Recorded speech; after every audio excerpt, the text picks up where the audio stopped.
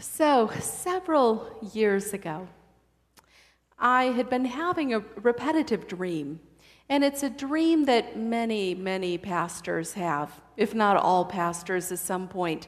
It is a dream that is the equivalent of the dream that most people have of standing in front of a large group of people wearing absolutely nothing. Have you had that dream before? Yes.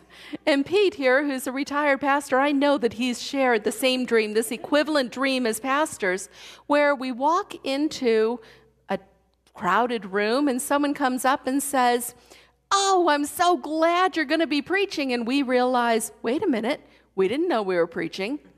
There's no sermon on notes. There's no sermon in my head, and I have no scripture reading chosen.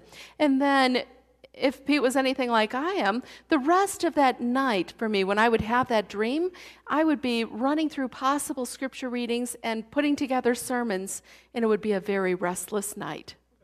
Well, I no longer have this dream.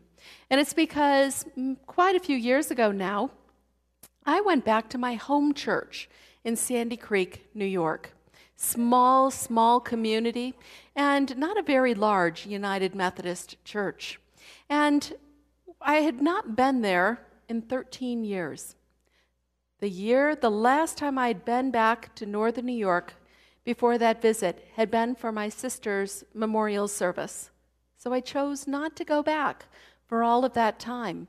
And I knew that when I went back, I would be concentrating on, on my memories of her, and I didn't want to experience that entirely when I went back. So I called ahead to the church and I offered to do special music, and the minister agreed.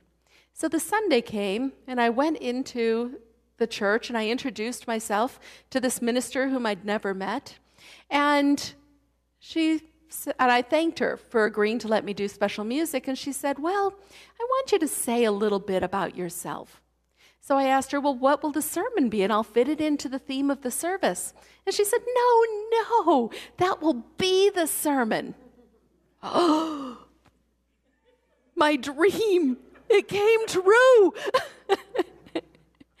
and so I, I prayed about it very quickly and I thought, and, and I realized that there was a sermon that I had preached to every single congregation I'd served a sermon about that church and what they'd done for my family and for me. And I'd never given thanks to them, and they had never heard that sermon.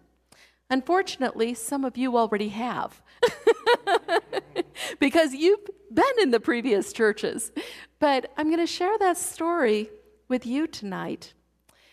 And it goes like this It was many years ago when I had just turned 13. And the week before Thanksgiving, less than a week before Thanksgiving, my father died. And so we somehow made it through Thanksgiving. But we sat down as a family, my mother and my brother and sister and I, and we decided that we were not going to celebrate Christmas because we weren't a church family and we didn't feel that we had anything to celebrate that year. It was just too difficult. Well, somehow, the local United Methodist minister in this community of 3,500, including all of the outlying area, this United Methodist minister heard about my family. And so the first week in December, he called my mother.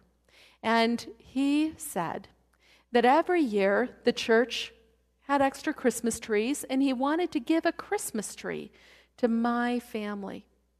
My mother's pride kicked in.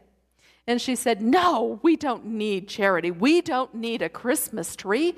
We will cut our own down. So she sent my brother and I out into the woods to cut down a Christmas tree. And we did, and we brought it back and we put the Christmas tree up. And it looked so lonely standing there that, of course, we decorated the Christmas tree. But that was as far as we were going to go. Nothing more. But then, about a week later, Ivan Greenfield, the minister, called again. And he said that each year they chose a family in the church to give gifts to, a giving tree. And would we please accept the gifts that they wanted to give us from the church? You can imagine my mother's response No, we will buy our own presents. And so we all got in the car. We drove to Watertown, New York, and the big city, and we bought Christmas gifts for each other, brought them home, wrapped them, put them under the tree. But that was as far as we were going to go. It was asking too much to think of Christmas as a celebration.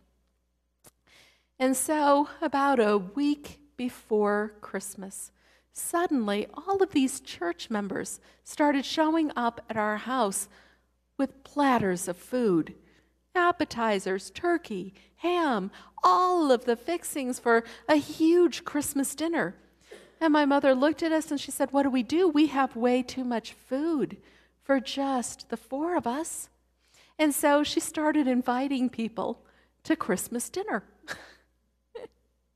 well, got to be Christmas Eve day.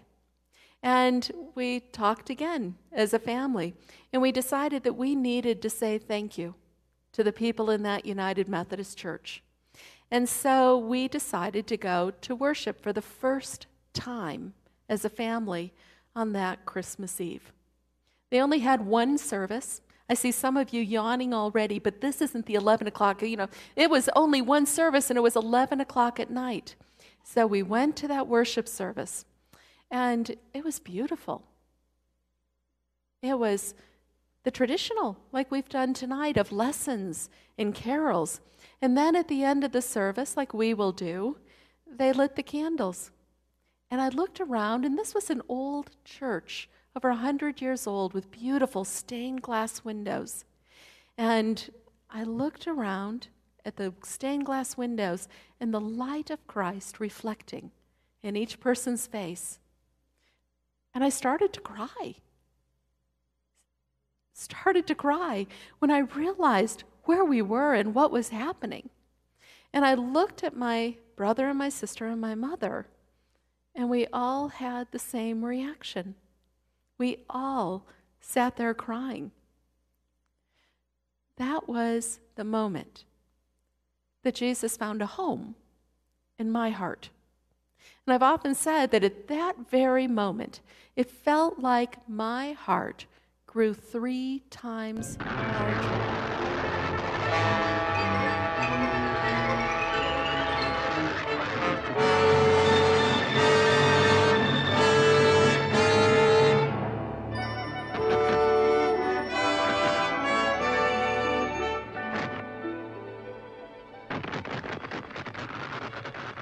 What happened then? Well, in Whoville, they say that the Grinch's small heart grew three sizes that day. And then the true meaning of Christmas came through, and the Grinch found the strength of ten Grinches, plus two. Yep, that's how I felt. so, after that Christmas Eve service, we started going to church as a family, and we didn't miss a Sunday. And we went through confirmation, and on that very Easter, my sister and my brother and I were all baptized, and my mother and my brother and sister and I, all four of us, joined the church. Well, I shared that story with that congregation in Sandy Creek, New York. And I finished the story, and they looked shocked. And there were some, and these were my neighbors and people that, that from age 13 on, they became my family. We had never told them the impact that they had had on us. They had no idea that that Christmas, when they let the light of, sh- of Christ shine through them, it made a difference. It made a difference for my family. I wouldn't be standing here tonight except for those wonderful people and God working through them, shining that light. We here will receive the light of Christ tonight. My prayer is that when we go out this evening, we will take that light of Christ that's within us out into the world so that more lives can be changed, more lives can be brought to the light. Amen.